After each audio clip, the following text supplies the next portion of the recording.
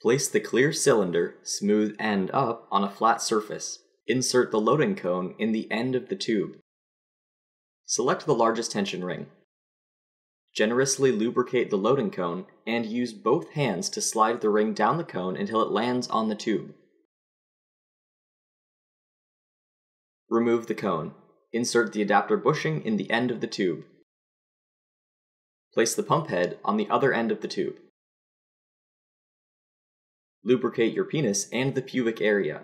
Insert penis in the open end of the cylinder. Make sure to press the cylinder firmly against the body to ensure a good seal. Finally, press the activation button.